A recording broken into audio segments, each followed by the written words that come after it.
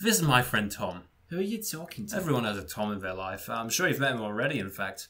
The guy in the corner of a party, the student who heads straight home after class with nobody else, the guy who takes overtime once he has a job just because he wants to be alone. I've never done that. I don't even have a job. The heart of gold underneath a kind of a total dick exterior. Seriously? Heart of gold? Yeah? Go ahead, name one good thing I've done for someone else. Go on. Now, there's no need to be so harsh on yourself. Look, he's not even going to try and name one. Who are you talking to?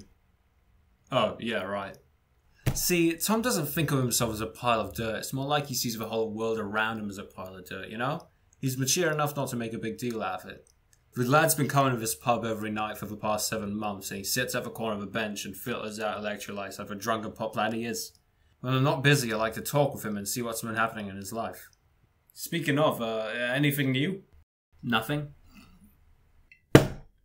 Usually nothing. But I guess something interesting happened last night. When I left the pub yesterday, uh, I think it was about half past ten, I think, uh, I passed through one of those little tiny public parks. The ones that the council have been trying to fit in between all the mid-rises, you know? Uh, and when I walked through, I saw there was a football line there. Uh, the round one of a pigskin. The round one. Some kid must have just left it there, forgot to take it.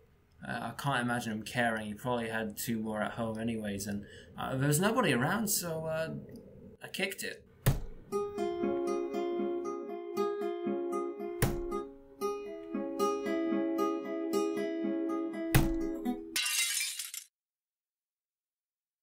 And then I went home.